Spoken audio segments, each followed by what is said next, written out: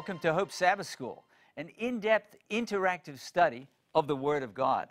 I'm glad you joined us today as we continue a fascinating series of studies on discipleship, learning lessons from Jesus, the way he interacted with people, and lessons for our lives today. Our topic today with the rich and the famous, and I'm glad you joined us. I want to welcome our Hope Sabbath School team here in the studio. Good to be together again, isn't it? What a great series of lessons. Learning so much from Jesus. And we're just so glad that you're a part of this series too, because as we get emails from you from around the world, we can tell that God is blessing your life and through you, blessing the lives of those around you. Here are just a few emails that have been sent to our address at sshope at hopetv.org. And even if you've written to us before, we're always excited to hear from you. In fact, we send your emails not only to our participants team, but to the media team as well, because we're all encouraged to hear how God is blessing your life. Here's a note from Tony and Gudrun in Australia. And uh, they say they live in a little country town 100 kilometers from Adelaide. You've heard of Adelaide? Mm-hmm. Tailem Bend. Never heard of it. Even though the broadcast is late on Friday, we really enjoy the interactivity of Hope Sabbath School and the theme songs are so uplifting. We travel about 50 minutes one way to church, so we don't make it to the Sabbath school. But being part of Hope Sabbath School is so encouraging. God bless each one of you. Well, Tony and Gudrun, thanks for writing from Australia. They're about 100 kilometers outside of Adelaide. We're glad you're part of our Hope Sabbath School family. Neil writes from the same part of the world, close anyway, New Zealand. And Neil says, I was just baptized. Praise the Lord. Amen. Wow, that's a confession that you're a follower of Jesus. Right. And he says, On most mornings, I watch Hope Sabbath School on the internet. Mm. So he goes to hopetv.org slash hopess. That's our web address. And we've got about 130 countries we know of that take advantage of that. Amen. And he says, How blessed I am to have such beautiful people sharing the Word of God with me. With a hunger to learn more and more, I find the Hope Sabbath School so uplifting. God bless you all and be with you always. Love, Neil. Well, Neil, thanks for writing from New Zealand. And we're so excited that you've decided to be a fully devoted follower of Jesus. Confess that in baptism. Yes. I know God's going to use you to bless those around you. Marital writes from North Carolina. Thanks for writing to us. And uh, actually, gave Marital a call because I didn't know whether Marital was a man or a lady mm-hmm. because it's a very unique name. And, and uh, hello, Mar- Marital here. So uh, I'm glad that this brother is part of our Hope Sabbath School. He said, I enjoy Hope Sabbath School on the Hope Channel. I use your study guide in facilitating my own class. Amen. So, Marital, you're a teacher. And by the way, you can download the outline from our website hopetv.org slash hopess. You can have the same outline that we use in our study. He says, I use that. And I like what he said next. He said, at 72 years of age, I don't try to reinvent the wheel. so you've got a great outline, just download it. I don't try to reinvent the wheel when resources like yours are available. This guide is a great help in getting everyone involved in the discussion. Well, Marital, thanks for writing to us from North Carolina in the United States. And we have many teachers who watch Hope Sabbath School. And think about that. We, they estimate a million people watching Hope Sabbath School, but imagine all the people that get taught mm. the Word of God beyond that circle. Isn't that amazing? Yes. Yes. So exciting. And here's one last email from Tembo. Tembo, that's not Australia. Tembo is from Zambia. Tembo writes and says, I'm a constant viewer of Hope Sabbath School every week the interactive discussions really enrich my Christian life. Amen. It's awesome. Every week I listen to the discussion and I grow in spiritual realms. I'm a fourth year student at the University of Zambia pursuing a degree in education. I've come to understand that besides, listen to this, this is powerful, hmm. that besides academic knowledge gained in school, one should also possess that knowledge which, co- which comes from God Amen. through listening to programs like Hope Sabbath School. Amen. Well, pray for me, he said, as I come to the end of my studies, and I always remember you in my prayers. Tembo, thanks for writing to us from Zambia. And you are so correct. We believe in education. But in addition to academic training, we need that wisdom that comes from God. Yes. And we're glad that you're part of our Hope Sabbath School. And if you've not written to us, wherever you live around the world, write to us at sshope at hopetv.org. You can also go to our website, hopetv.org slash hopess. You can download the theme song for this series of studies on discipleship. You can get the sheet music. You can get the audio file. You can learn the song and sing it with us wherever you are around the world. We're going to sing it right now. It's taken from Matthew chapter 11, verses 28 through 30, and it's called Come to Me.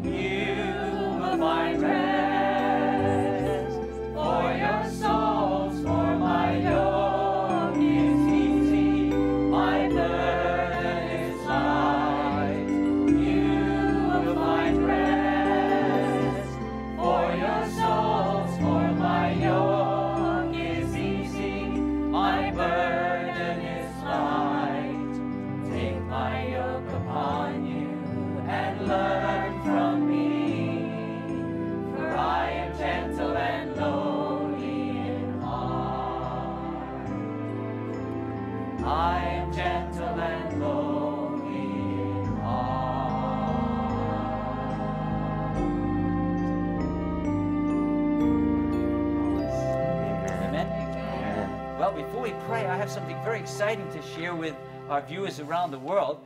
We have a teacher today from our class. I'm always excited when part of our Hope Sabbath School team stands up and says, By the grace of God and the blessing of the Spirit, I'm going to share the Word of God today. And Nathan, we are really excited that you're going to teach today an important topic on with the rich and famous. And uh, perhaps you could lead us in prayer as we begin our study. Okay, thank you. Let's pray, please. Father in heaven, we are blessed to be a part of this study together today. And as we open your word, we want to remember that you inspired the words we're about to read and study. Your Holy Spirit, who inspired the prophets to write them, is with us even now to help us understand, but not just here with us, but with our viewers all around the world and our listeners. And we ask that you would bless them too through this study. In Jesus' name we ask this. Amen. Amen. Well, we're glad to be studying today with you. And I want to, first of all, before we begin, I want to start right out front with a very soul searching, honest question. Because today we're talking about you, the rich and famous. How many of you say, yeah, that's me? no, okay, not really, not quite. Yeah. But how many of you have ever desired to be rich, famous, or powerful and influential? You don't have to raise your hands if you don't want to, but if you're honest, maybe every hand would go up, right? Wish- now, here's a real tough question for you, a little probing a little deeper. How many of you have ever asked God for that? You've prayed about it. Lord, I want to be richer. Maybe you didn't say it that way, but I want you to bless me financially. Or you wished you had more opportunity or power or influence. If we're honest with ourselves, sometimes we're wishing that we were in somebody else's shoes, right? And so today we're going to look at some of those individuals recorded in Scripture, four of them. Anybody know from previewing the lesson who are we going to look at today? The lives and experiences of first Nicodemus, right? And then before the rich young ruler, we're going to look at Matthew, a tax collector who was, had a very uh, cushy, powerful position and a good income in his job. And then we're going to look at the rich, young ruler and the rich fool. So we'll look at those par- that parable from Jesus. So let's start by turning to Nicodemus' story in John chapter 9. I'm sorry, John chapter 3. And we'll look at the experience that we had, Jesus had with Nicodemus. And I wonder, Missy, would you be willing to read verses 1 and 2 for us? I am John reading, chapter 3, verses 1 and 2. I'm reading from the New King James Version. There was a man of the Pharisees named Nicodemus, a ruler of the Jews. This man came to Jesus by night and said to him, Rabbi, we know that you are a, lead, a teacher come from God, for no one can do these signs that you do unless God is with him. All right, thank you. Who do you think arranged for this meeting? Who requested this meeting? Nicodemus. Nicodemus, right? And why do you think he came under cover of darkness? Well, maybe before we a- answer that question, we could ask, why did he want to meet Jesus at all? What do you think? Nicodemus was a ruler of the Jews, probably a member of the Sanhedrin Council, very powerful position, influential, and he was wealthy. Why would he want to meet Jesus? He- Ulrich, what do you think? he mentioned here in, in um, verse 2 that um, no one can do these things unless God is with him. So uh, even though Nicodemus was part of um, the Pharisees, um, the, the religious establishment who uh, were somewhat opposed to Jesus, uh, apparently he had uh, some conviction uh, based on what he heard Jesus was teaching and the things that he was doing. And- but instead of meeting him during the daytime where his fellow uh, leaders would see him and ridicule him, he chose to meet Jesus at night to Okay, we'll talk about that. how he came at night, but first of all, we understand that he wanted to come to Jesus because he believed Jesus was a teacher From Come God. from sent God. from God. God, yeah. And who was he among the ruling council? They were The religious teachers leaders. Right. Yeah. Leaders. sent from God in some regard because they were the ones that were teaching God's Right. teachings to the people. They kind of saw themselves in that position. We're God's teachers for his people. Now they hear Jesus teaching. Nicodemus says, There's something about that. Mm-hmm. And do you think that Nicodemus is thinking this guy, in his powerful method of teaching, could possibly be a colleague of ours? Maybe he, even though he didn't come through our system, Yeah. He's a potential colleague, so he wants to interview him, mm-hmm. get to know him, Yes. see how the relationship might work between him and the council. But he comes in the cover of darkness. Ulrich, you kind of referred to that. Why did he come? Anyone else have any thoughts? Why was it important for him to come at night, Jennifer? So I think he thought that maybe there was something there, but he needed more information. So hmm. instead of taking on all this risk, meeting Jesus by day, he was like, you know, there's something about this man. I need to find out more. Let me do this within my comfort zone. And he, he Right. was, okay, within his comfort zone because he wasn't sure. Yeah. Willie and then Marianella. I think uh, it's because, uh, first of all, he knew Jesus was not a part of the ruling, bo- ruling body, uh, the, the Sanhedrin, and he was not an ordained pastor, if you will. Uh, he was uh, considered rabbi of his followers, but he was not actually a part of their. Wasn't ruling- approved by the religious Right, so- establishment. yes. And he was also looking out for his reputation as a uh, uh, ruler of the Jews. So Okay, so if he's seen with him, he would already be considered as Right. a possible, uh, Exactly. the connection there was a colleague, and, okay? His- Marianella? Yeah, I was going to add to that. His position could be at risk too. He could lose All right. He's privileges. hobnobbing with Yeah. somebody that may be of questionable character, Right. character Right. because the establishment has not yet approved him as a teacher, and he's Mm. being cautious about that. Derek? You know, I like what Jennifer said. I, I, I think I grew up thinking, bad fellow, unashamed Yeah. ashamed to come during the daytime. Mm-hmm. But I, I think that Nicodemus, he certainly, his heart was open. Mm-hmm. And came. He came. And, and I think he's saying, you know, I have a lot of influence. And before I just walk right into this, i i- this man seems to be sent from God. Mm-hmm. But, but I think it's responsible that I have a conversation with him before thousands of people go, well, Nicodemus went. Right. Uh, so I, I want to give him the benefit of the doubt, especially as I see how courageous he is later in the story, mm-hmm. to say, you know, if we're influential people, hmm. we need to be careful about our example. Mm-hmm. Right. Mm-hmm. Yeah. Once he's sure, then, hmm. then, then there's a boldness there. So I think I've changed my attitude from when I was little, Right. when I Me thought he was just kind of a, a bit cowardly. Right, And he just came at nighttime. Maybe that's why we always keep studying God's Word, because there might be deeper insights we don't always know from the beginning when we first read. All right, so Nicodemus, in his interview with Jesus, says, We know that you're a teacher sent from God because no one could do these signs, right? Mm-hmm. That you do unless God were with him. So, what were the signs that he had done? What was Nicodemus referring to?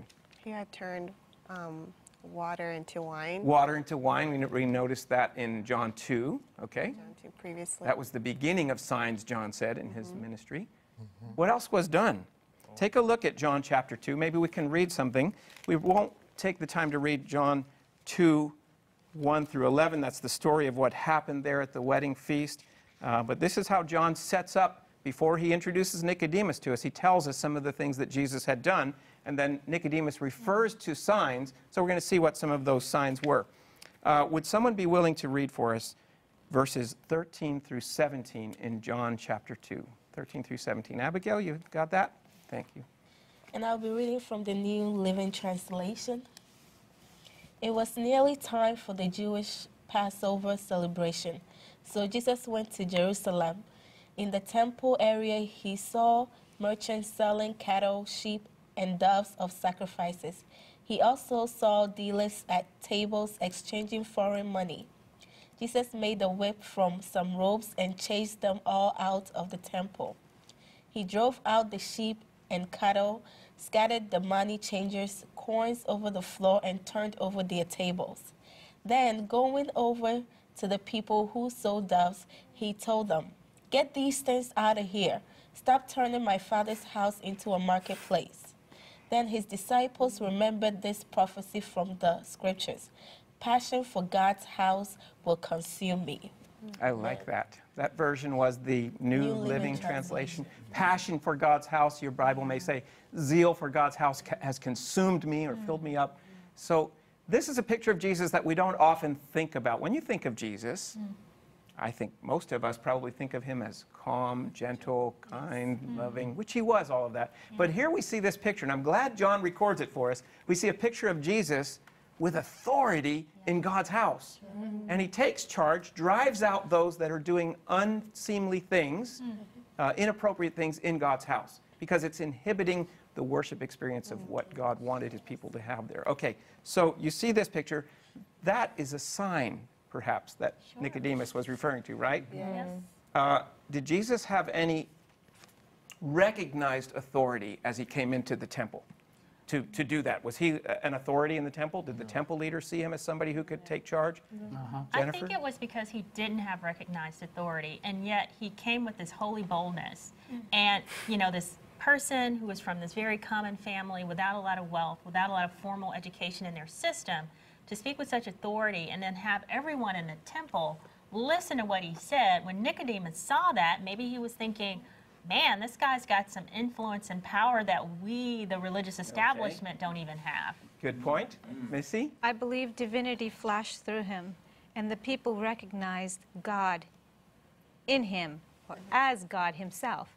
Mm-hmm. And I mean, why else would they leave with their tails tucked between their legs? Yeah, this was this is amazing. Here comes this guy with no established credentials, and yet he has so much authority mm-hmm. in his in his command of the situation Mm-hmm. that they recognized that authority and, and God was at work in him and they recognized the authority and they responded appropriately, mm-hmm. right?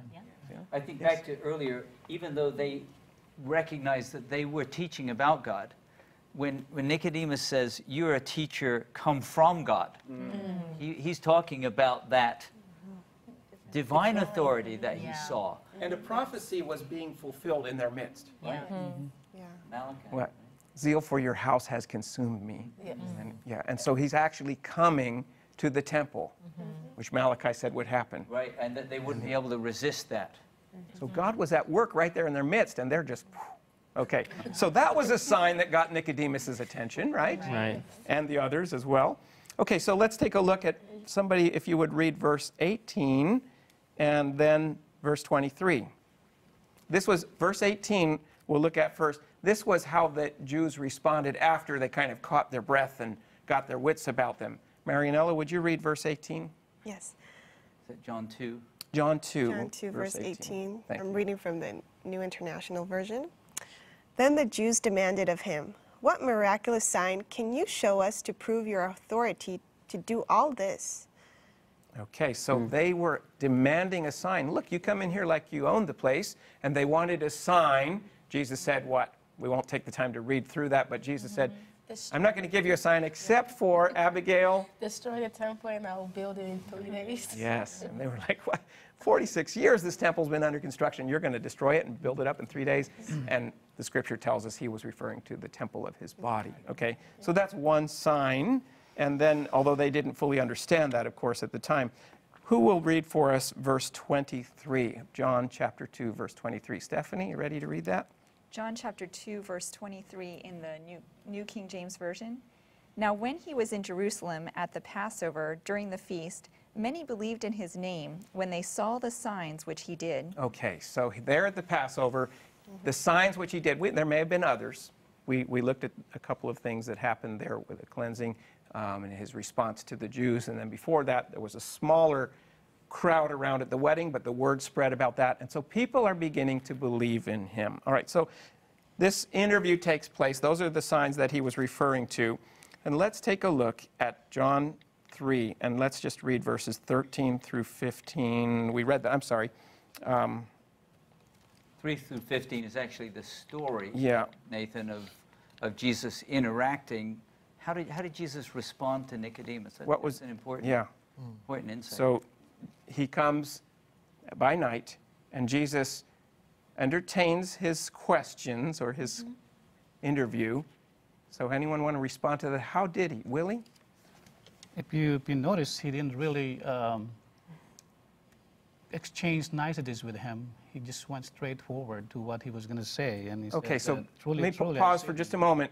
You said something about exchanging niceties. The culture was that when you want to have some kind of interview with someone that you consider respectable and powerful, you begin with a little bit of flattery. Right. And so you see him doing that with Jesus. We know you're a teacher come from God, right? And the, the expected response in the culture would be that Jesus would also mm. throw back a little flattery. You know, we're working together here, it's part of their culture. And you said he didn't exchange niceties, he skipped the formal flatteries, That's right. and he went to what? He just said, truly, truly, unless one is born of water and the Spirit, he cannot enter the kingdom of God. The first words in your version are truly, truly. Your Bible may say most assuredly or most certainly, I tell you. So he's going from niceties, formalities, into what? Where does he go? Truly, truly means he's going to share Truth. truth, right? So he says, let's skip all that and let's get to the heart of the matter. I have truth to share with you. And he goes right straight to the point of truth. Now, what did, what did that do for Nicodemus? What was the essence of what he shared, first of all? Uh, I think for the sake of time, we won't read through all of this. You know that he tells him a man must be what? Born Born again. again. Born of water and the Spirit, born again in order to see the kingdom of God. And so Nicodemus is saying, wait a minute. We're the teachers of God. We're here representing, teaching about God. And we know about how to get into the kingdom of God. And Jesus says, let me tell you the truth, mm-hmm. truly, truly, emphasizing that a man must be born again. Someone must be born again. What do you think Nicodemus thought of that? Because they did have this expectation when he mentions born of water and the Spirit. The Jews would bring a convert who was a Gentile into their faith through what we would call baptism today. Mm-hmm. Mm-hmm. But not for a Jew to be needing this born again experience. Wait a minute, we're already in the house of God, so to speak, among his family. Jennifer. So I think what was really special about the interaction between Nicodemus and Jesus is that, you know, Nicodemus came at night. That was his comfort zone. Jesus said, I need a public declaration. You know, you're going to mm. have to be baptized by the Holy Spirit, which will change your heart. But then you also need to be baptized in water, which is a public statement to everyone that you're my follower. And so Jesus knew exactly, you know, what he needed to say to Nicodemus. So the essence of Jesus' teaching to Nicodemus was maybe we could sum it up by saying, not this, but that. Mm-hmm. What was the not this part of it? If you're going to say, Jesus was trying to tell him, truly, truly, I say to you. So even though it's not spelled out, he was telling Nicodemus, don't trust in what? In the flesh in Your knowledge. self. Theoretical Knowledge knowledge. Is It your was not. knowledge, your Position. position, your influence. Yeah, these are the things that perhaps Nicodemus could have felt quite self-confident in. He was comfortable with his where he was with God. And what did Jesus' teaching do here? It completely whew, upset that. Yes. It's like, wow, a whole new worldview now that he's presented with. Ulrich. Um, You, you just touched on something that, um, briefly. Uh, remember, Jesus had told them one time that you search the scriptures, thinking in it you have eternal life. And these are the scriptures that testify of me. So apparently, they thought that the, the, the more they read the scriptures and, and know what's in the scriptures, through that they, they gain eternal life. And Jesus is telling Nicodemus here that, yes, you, you might be a teacher and part of the religious establishment, but your knowledge is not going to get you into the kingdom of God. That's right. You need to be born So he again. challenged, the not this part of the message was not trusting in his status or position Exactly. or influence. All right. And then the not this, but that part would be, it was, we mentioned, the spiritual mm-hmm. rebirth is necessary. Okay? So for an influential person to, you skip the flatteries and you go right, he says, Jesus is mm-hmm. telling him, there's something more important for you. Let's get right to the point. You need to know that a person needs to be born again to see the kingdom of God. That's right. Maybe we could keep that in mind as we, what if you ever have the opportunity to interact with an influential person who may trust their position or their status, even in a religious way? The, me- the lesson for us is we should share what with them? The truth. Truth. Truth is, you know, all the formalities and, and the, the worldview that they might have been engendered with, and hmm. no, that's not going to save you. It's share truth. But Jesus does it gently, tactfully, his mm-hmm. interaction, mm-hmm. and only by God's Spirit can we do the same mm-hmm. thing. All right. And he Okay. explains it really well. You Yeah, know, he was. He says, explained it. Yeah, you think you could be. It's not the being born from the flesh; it's from the spirit, and he goes on to explain that. through That which baptism. is So, born of the flesh is Yeah. flesh, and that which is born of the Spirit is spirit. Yeah. Well, we should move on and take a look at our next character in our study here. Let's take a look at Matthew chapter 9. And we're going to meet one of those who's called to follow Jesus. You ready to read, Daisy? Would you read for us? Let's look at Matthew chapter 9 and ve- read verses 9 through 13. I'll be reading from the New Living Translation. As Jesus was walking along, he saw a man named Matthew sitting at his tax, tax collector's booth. Follow me and be my disciple, Jesus said to him. So Matthew got up and followed him.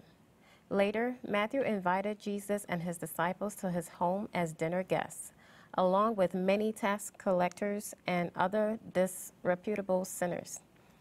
But when the Pharisees saw this, they asked his disciples, Why does your teacher eat with such scum? When Jesus heard this, he said, Healthy people do not need a doctor, sick people do. Mm. Then he added, Now go and learn the meaning of the scripture. I want you to show mercy, not offer sacrifices. Mm. For I have come to call not those who think they are righteous, but those who know they are sinners. Wow, I would have loved to be there in the crowd to hear that interaction. Mm. I like the way your version puts it. Uh, he, it mentions that he was eating with scum, or ha- why is he hanging around such scum? Ooh, strong, But that's really what they were thinking. Thinking. Right. Mm-hmm. You're not supposed to fellowship. Why would they think that, by the way? Where did they get that idea from? They had seen those people and knew the kind of lifestyle they lived, and they knew that wasn't right. So why would Jesus, if he was holy or from God, want to associate himself with, you know, people with bad reputation or people that even commoners wouldn't want to hang with? I think it was the norm of the day to characterize certain people in certain ways. Okay, all And- right. Was there any scriptural basis for this, perhaps, that they might have? I'm not saying it was a proper understanding, but where would they go to? For instance, think of the Psalms, right at the beginning, the very first Psalm. How does it start? Anybody know it from memory, or shall we Blessed turn is to the man that Walk walketh Ulrich? not not in in the the counsel of the ungodly, mm-hmm. nor stand in the path of sinners, nor sit in the seat of the scornful. So the man who's not walking in the path of the ungodly, nor standing in the way of sinners, nor sitting in the seat of the scornful, I think you're quoting from the King James Version. In other words, that man is blessed. Well, these are the people that that, script, that verse is talking about. And so they say, well, we have a scriptural basis for our views. We mm-hmm. don't want to interact with such people. Mm. Now, God's talking about the blessings of not engaging in a lifestyle and immersing yourself in a lifestyle like that. Mm-hmm. But he's not saying we should avoid those mm-hmm. people to reach out for them for him. Tyler.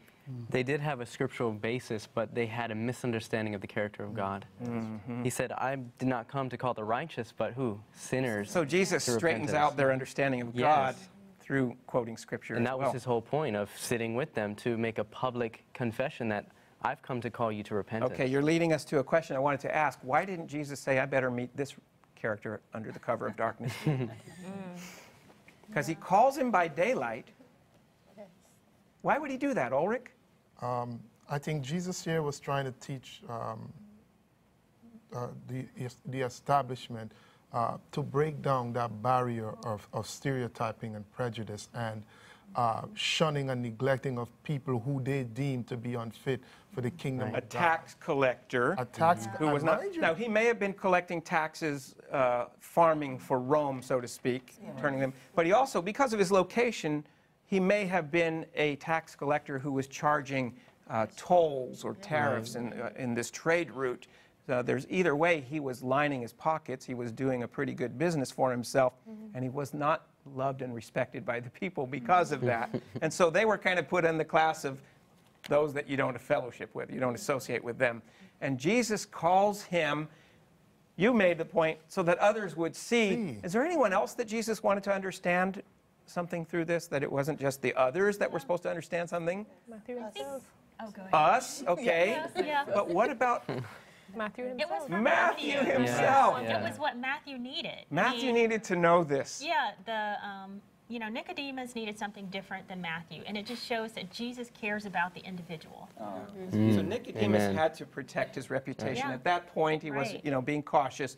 Matthew needed to know that he was accepted Exactly. and not an outcast in, in Jesus' understanding. You know, I think sometimes, Nathan, we're, we're a bit intimidated by wealthy or famous people. Uh, and, and, and we, we assume that they wouldn't be interested in Jesus or the kingdom. But, but we've seen Nicodemus, his heart was open. Uh, I think it's interesting. Matthew, of course, writes this gospel that tells the story, uh, and he's quite humble. Luke records it too, and says, Matthew, it says he left everything. left all. He Yes. left all. Uh, and and, and it, it also says that it went, they went to his house. This just says the house in Matthew.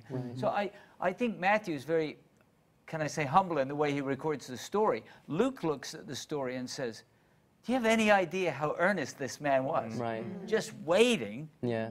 For the invitation And of course, Luke, part of the kingdom. in his telling of it, he calls him Levi. So Right, right, and we need yeah. to make that connection that this is Matthew he's talking about. Right. But yes, this is important because Jesus wants to, him to understand he's accepted. And what you shared here is important because we cannot assume that anyone, no matter what their position, their status in society, that they're not a candidate for the kingdom of God. That's right. God's hearts is work, God is working on their heart. They're open and they'll be receptive. So we have Matthew here, mm-hmm. leaving everything, a very good lifestyle, mm. mm-hmm. because he saw something more attractive. Mm-hmm.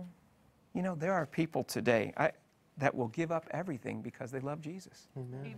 That's right. I had a friend in my early Christian experience, and I was walking in his front yard or driveway with him, and I told him, You have a beautiful place here. And he said to me, You may know this person.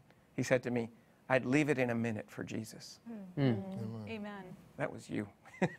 and, and it impressed my heart. I remember it, you know, 27 years later or whatever. I remember, uh, you know, I was a poor country boy and you'd invited me and I said, You have a nice house. It wasn't extravagant or anything. And you said, You know, whatever I have, I'd be happy to leave it in a moment for Jesus. Amen. He called me to do that. Amen. Hey, that's the way we ought to relate to our stuff, right? And we're going to talk about that a little bit more. So thank you for teaching me that lesson.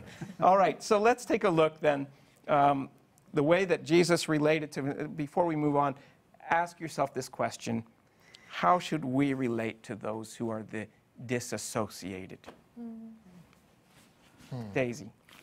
I think we should try as much as, as possible not to just judge them right away because we have the tendency of doing that, regardless of whether they're, you know, high class or low class. And it's very hard sometimes. We either intimidated, feel like they're too good to associate with us, or they're not good enough for us to associate with them.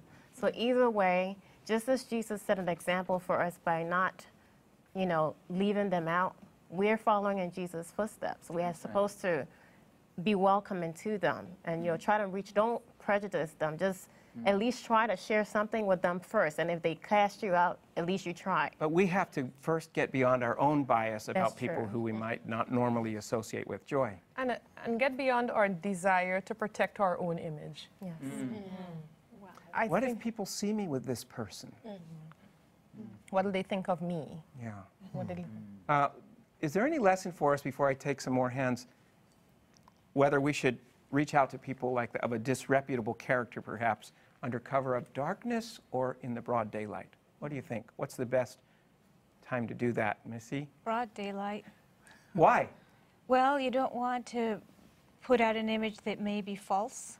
I think it'd be best uh, so that everything is clear and out in the open and there's no questionable uh, scenario. That's good on a number of levels because, first of all, it's you communicating to them openly. I'm not ashamed to be seen with you. You're, you're a child of God too, and I'm willing to spend time openly with you. But also, because you're not doing under cover of darkness, if people should see you, they might have questions. And we're supposed to avoid the appearance of evil as God's children, right? That's right. You might want to just take that precaution.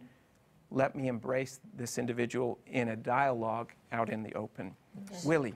I was just going to say, uh, in dealing with uh, people of uh, not so good reputation, we are also admonished that we're, we're should be praying always, or we'll be uh, like one of them if we don't be careful. Yeah. Yeah, but for the grace of God, go on. I desire mercy and not sacrifice. Jesus said, go learn what that means. And that was a common expression for rabbis. That, you know, go study this and figure it out. In other words, you haven't quite understand this, understood the scripture. Go spend some time in God's word and try to get that understanding that can apply to your life. And he said, he also quoted a common proverb that the doctor goes to the sick, right? Mm-hmm. So Jesus is telling us, make what did doctors do in the old days and still do in some parts of the world? House calls. Make house calls. Yeah. They're not going to come to you, perhaps. Those that are sick in a sinful way, you need to go to them. Bring the medicine. What's the medicine they need? The gospel. The gospel. God loves you. You're a child of God. And you go with the medicine as a doctor, making a house call. Go where they are and let them know I'm not ashamed to be seen with you. Mm-hmm. Marianella, you had a point to Yeah, make. no, I just, I think that following Christ's example is most important because if he did that to come down, to leave all of heaven, he's the Lord of Lords, the King of the universe, and he came to be with us, like the sinners.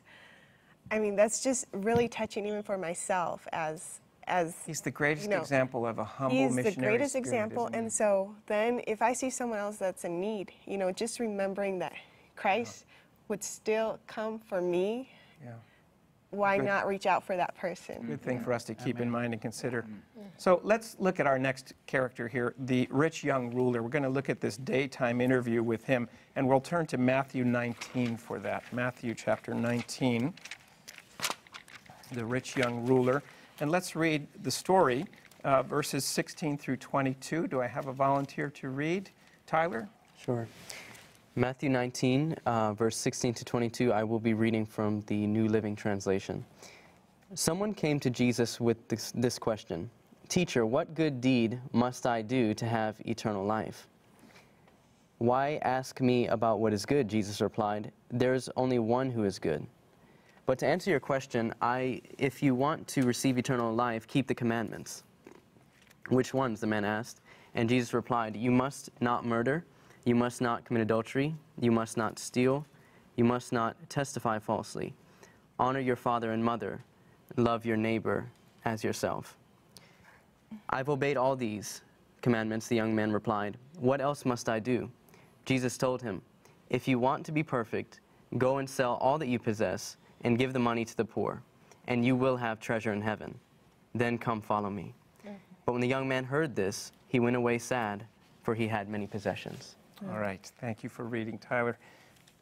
Mark tells us that he not only came to Jesus, mm. but that he came running and Knelt down. knelt down before him. So this man was very earnest in his desire to know. Mm. He had a burning desire to have a- an answer from Jesus. Good teacher, what thing, what good thing shall I do that I may have eternal life? What do you see, what do you learn about this man already just from the way he asked his question? What good thing shall I do that I may have eternal life? Tyler? Well, he's definitely works based. What shall I do? What can he do I do this, and then I have that. Right. If I do this, I have eternal life. Yes. Okay, so that already reveals something about where he's coming from Mm-hmm. in his approach to salvation. Joy. I, I was about to say he's almost asking like, what is the key to the success story? Yeah. Right. What's the what's the key? And when we do it ourselves, who gets the credit? We do. We get to heaven and we say, Yes. I've been good enough, right? That's the whole point. That's it. That's what I'm saying. it's like we get to heaven and we say, I've done this, I've been good enough. That's not how it works. We get to heaven and we say, Thank God for Jesus, my Savior. None of us can get there on our own. Amen. Uh, Wilbur and then Derek. Yeah, well, I got, I mean, well, I understood from reading that he was sort of looking for validation, saying, oh, these are the things that I did. Does that mean I'm qualified or I, mm. you know, Yeah, could in? be. I, I read it and I thought, he's done all this stuff. He's been doing what he thinks he needs to do. And yet there's a burning desire in his heart. There's an emptiness. Something is lacking. What thing do I lack? He asks mm-hmm. later, right? Mm-hmm. So even though I've done everything right, I've been a good religious person, I don't have this peace that I should have. I'm, I feel like something's lacking. Derek. I, I think you're right. And uh, as you mentioned, uh, Mark, Mark has him running and kneeling, but there's something like, he's basically, we could say, there's something missing. I've done all of this, there's something missing. And uh, so I, I'm not sure that he's looking for validation as much as he's looking for what's missing. yes. Mm. Yeah. And Right. uh, you know, obviously, he needs some help with his understanding of how we in, we receive eternal life. Mm-hmm. It isn't by doing things, but but again, a potential kingdom. Doesn't Scripture say that Jesus looked at him and loved him? Mm-hmm. So, it's a potential king citizen of the kingdom. Yes, yes, mm-hmm. that's right. So, interestingly, Jesus doesn't say, well, you know, he doesn't get right to the point. He kind of works through this. He plays around a little bit with uh, some gentle maneuvering. And I don't mean that in the wrong sense when I say he played around with it, but he, he took some time to take some steps to help this man come to his own realization. Have you ever noticed if you want to tell somebody, you want to communicate truth, and you just tell them this is what you need, especially with children? Those of us who are parents, you know, sometimes we need to allow our children to learn and discover through their own process, and then it really sinks in and it's meaningful. Well, Jesus, I think, is leading him on this kind of a course. Mm-hmm. Look at what he says to him. Mm-hmm. First, he, he tells him, you know, only God is good. And then he says, you know, if you want to enter into life, keep the commandments. Interesting. Mm-hmm. Jesus says, well, should we, if we're breaking the commandments, are we kind of excluding ourselves from that relationship with God, which Mm-hmm. is our key to salvation, right? Knowing God, who, whom to know is eternal life. So he, sa- he mentions that, but look what he says. Mm-hmm. Which ones? I want to make sure I got it right.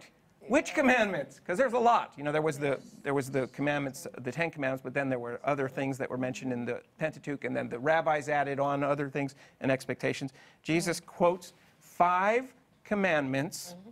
from the First or second table of the Ten Commandments? Second. Second table. Second table refers to which? Our relationship with God or the relationship with Man. Relationship with He man. quotes the ones relating to the relationship with man, and then he sums. He quotes the one that sums it all up too. You shall love your neighbor as yourself. Mm-hmm. But he leaves one out. Which one did he leave out? Love God. God. No, I'm sorry, not the summing, but the shalt not of the second six on the second table. There's six commandments related Anything to about God. coveting? He Coveting. doesn't mention coveting. He quotes numbers 6, 7, 8, and 9 in order. He doesn't quote 10, which number 10, which is coveting. And then he, at the end, he tacks on what? Number 5, which was honoring your father and mother. All right, let's ask ourselves a question. Why did he go out of order with number 5? He saved that for last, and then he didn't even mention covet. Jennifer. I hmm. think Jesus, you know, Jesus is having this conversation with this um, with this ruler, but he already knew what the guy was going to say. Hmm. So he was leading him down a path of thought so he could get to sort of a final persuasive statement, which hmm. was, you know, I know you're going to say, I've been doing this, I've been doing this, I've been doing this, but Jesus was like, you're coming to me not to talk about what you've already been doing, but you're coming to me because something is missing. And the thing that was missing, I think, was a relationship with God. You know, Okay. he had checked the box, Yep. but Jesus wanted him to have a relationship and be his disciple. Right. But before we move on to that missing thing, I wanted, uh, you're right, that the reason why he might have done this method of quoting the scripture in the order he did it, those commandments that he quoted, can you, t- are they humanly testable? Can you look at a person and see, are you murdering, are you stealing, Yes. are you lying? They are, right? Is coveting? No. No, you can't see what someone's thinking or doing, you know, desiring in their heart. That's covetousness. But why would he l- save the one about honoring father and mother for last?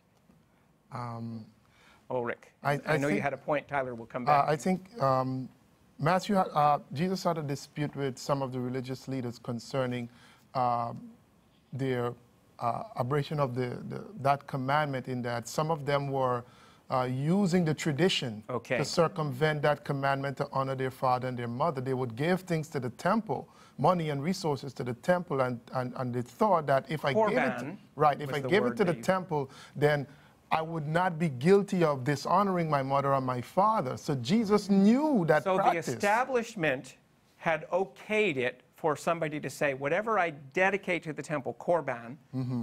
releases me from my obligation to care for my parents. Right. And maybe Jesus put that one on the end because this guy might have been guilty of that. Exactly. Tyler. Well, I would um, venture to say that Jesus saved the best for last here, and this is why I would say that.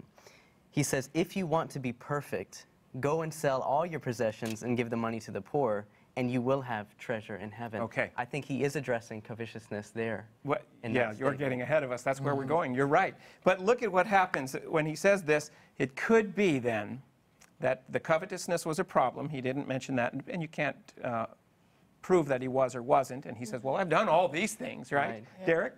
I don't think that's the best. I think Jennifer's Come right. follow me. The best is come follow me. Oh, yeah, yeah, I- I- right. In other words, all of these things are not unimportant, Right. but they are not the way of salvation. Right. In fact, the keeping of the commandments, whether we're relating to God or relating to our fellow man, is, is only an indication of a life changing relationship with God through Jesus. Exactly. So I, th- I, I- I think I like your point. If he'd been too abrupt, maybe the rich young ruler couldn't have handled it. But, uh, but he's clearly coming down to, you need to follow me. Exactly. That's where we're going because that's where Jesus took him. He mm-hmm. says, if you want to be perfect, so you're lacking some, perfect could be translated mature. If you want to fill that void, that's something that's lacking, what does he tell him to do? Follow Go me. first, everything. go and Sell. sell everything he had. Now, this guy could have been, through his wealth, he could have been using his wealth and his possessions to actually feel kind of powerful and in control and mm-hmm. proud. Because he mm-hmm. would be, you can assume that because he's a religious person, he is giving to the poor. Giving mm-hmm. alms was an Right, important part of the Jewish faith. Mm. And as a matter of fact, the rabbis had established a certain limit to what you should give. Mm. Did you know that? Mm. 20%. Don't give more than 20% of your earnings or your possession to the poor because you should maintain your wealth so that you can continue giving and being a blessing to society. So, what does that allow you to do? That allows you to become proud. Mm-hmm. Look at me. Look how I'm using my gifts and my abilities. So, this guy has a heart problem of pride and also I'm in control. Mm-hmm. Look at the power I have because of my wealth. And, and Jesus is getting to that where he's saying, Go give all that up because you are doing it that way and it's not working for you, right? Right. You're feeling like something's lacking. Lacking. And yet, there's more. Give it all up. Come follow me. And by the way, I know we, I, there's other hands. We want to look at our fourth character yet, too, so we're going to move on quickly. But it's interesting to note that he says, You'll have kingdom in heaven and so forth. And when this follow, the following to this, just read, if somebody would um, read verses 23 and 24 for me in Matthew chapter 19. Willie, you ready to read that? Verses 23 and 24. I'll be reading from the uh, New King James Version, Matthew chapter 19, verses 23 to 24. Then Jesus said to his disciples, Assuredly I say to you that it is hard for a rich man to enter the kingdom of heaven. And again I say to you, it is easier for a camel to go through the eye of a needle than for a rich man to enter the kingdom of God. Okay. He says this because the rich young ru- ruler went away sad when Jesus told him he went away, and the disciples were amazed. Well, uh, Uh, now there have been people who've said, well, that camel going through the eye of the needle refers to a gate in, called Camel's Gate in Jerusalem, and the camel had to be unpacked of all its possessions and get down on its knees and go through, and that shows how we have to let go of our stuff and be humble. It's a very nice idea. But that gate wasn't called the Camel's Gate till centuries after Jesus' time. Jesus, Jesus was using hyperbole, this idea that let me really make the point by expressing it in a hyperbolic expression, you know, exaggerated teaching. A camel was the largest land animal that was known to the people in, in Palestine. And a needle is the smallest uh, aperture in a household, the eye of the needle. And so he's saying, if you could take the largest animal you know and put it through the smallest little space that you know, that's what it's like. And the disciples respond by saying, What? can Verse be saved? 25 Who can be saved then? Because they attributed wealth with divine favor. Right. Wealth is like, you know, if you're wealthy, it's because God loves you. And they could have Old Testament uh, basis in understanding that. And therefore, who could be saved? And Jesus says, With man, Men, it's impossible, but with God, all things are possible. And interestingly, after that, Peter, you know, he's always the one who's ready to speak up. Peter says what in verse 27? Can I read it to you? Then Peter answered, this is from the New King James Version. Then Peter answered and said to him, See, we have left all and followed you. Therefore, what shall we have? Yeah. Hmm. Jesus says the rich young ruler should leave everything to follow him. And Peter says, Well, we did that. we must be getting a big reward for that. Hmm. and then Jesus goes into this teaching of the first that shall be last and so forth. There- We don't have time to go all into that. But they did leave everything. Hmm. Fishing wasn't the lowest occupation, by the way. Fishermen did pretty well.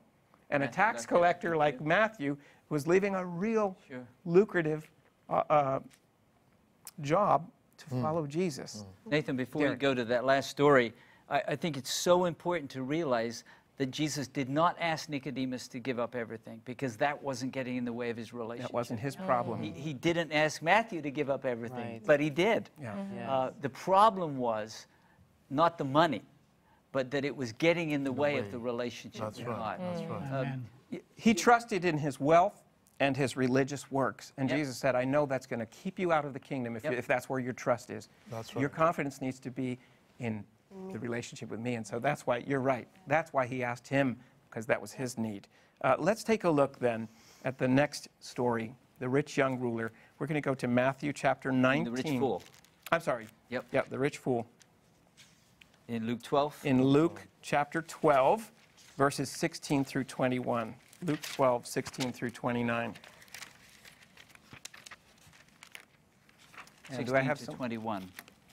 would someone read that for us? Did I say 29? I'm looking at the 21 and saying 29. Joy? Reading from the King James Version.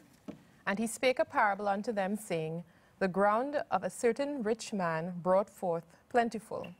And he thought within himself, saying, What shall I do? Because I have no room where to bestow my fruits. And he said, This will I do. I will pull down my barns and build greater, and there will I bestow all my fruits and my goods. And I will say to my soul, Soul, thou hast much goods laid up for many years. Take thine ease, eat, drink, and be merry. But God said unto him, Thou fool, This night thy soul shall be required of thee. Then whose shall those things be which thou hast provided? So he so is he that layeth up treasure for himself and is not rich toward God. Thank you. Hmm. So this man said, I've hit the jackpot. I just hit, you know, I, I just hit it big. I can take life easy. Eat, drink, and be- be merry was a common expression of the day. We might say, you got it made in the shade, or you're living on Easy Street, or, uh, you know, whatever the expression is where you live. But he says, I've got it made. I can eat, drink, and be merry. It was kind of this Epicurean Greek thought that actually entered into the Jewish lifestyle as well. This belief that when God's blessed me, I've got it made for the rest of my life. And he was trusting in what? His, his, his riches. His possessions, his riches. possessions. Is that a good, safe place for us to put our trust? No. Well, no. the parable te- teaches us that no. As a matter of fact, it's a strong word Jesus uses. In the parable, is he's called a fool. That mm-hmm. indicates not just somebody who, like stupidity, but someone who's morally and spiritually depraved, mm-hmm. deficient in some way. And it's the same uh, in the when the Greek New Old Testament was translated. It's the same word that was used in the Psalms, where it says, "The fool has said in his heart, there is no God." no this is the word that's used to to refer to this fool who thinks, "Well, I don't need God." That's what he's saying in essence. There's no God. I don't need to take care of that.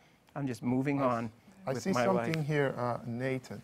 Um, you look at these stories, you see that Jesus is meeting these individuals where they're at. And uh, when we're discipling uh, the rich and the famous, uh, one thing we must have is tact. And not to attack riches, because there's no scripture in the Bible that says that God attacks wealth. But um, he puts it in a context to help them to understand that status and wealth is, is not the end all be all, but God bless you with it so you can bless others. Wealth is not evil. It's not bad to have wealth. It's the way we relate to our That's stuff. right. Does our stuff own us or do we possess it? And God wants us to be able to share with people who might be rich and increased with goods that there's something greater, there's treasure in heaven That's through a relationship with Jesus. That's right. So God could open those doors with people who are rich and famous and we might never expect to interact with. We can pray for them and reach them for Jesus. There. Thank you, Nathan. What a great study, and thanks for joining us for the study today. And you know, I think of people like Barnabas who gave their land away. God blessed you with wealth so that you can bless others and lay up treasure in heaven. Mm. And I just want to pray that we'll learn some valuable lessons mm. to reach out to people of wealth and influence and also be good stewards of the blessings we've received. Let's pray. Father in heaven, thank you so much for this challenging study today. Help us to see every person as a potential candidate for the kingdom of heaven. Mm-hmm. And help us to use the resources and the influence you've given to us to bless others. In Jesus' name, amen. Amen. Well, thanks for joining us for Hope Sabbath School today. We'd love to hear from you. Take the lessons that you've learned. You might be saying, well, I have a lot of wealth, I have a lot of fame. How can you use that to bless the lives of those around you, to draw them to the kingdom? Or I know someone of influence. Reach out to them. Don't hold this precious truth to yourself. Take what you've learned and share it with those around you.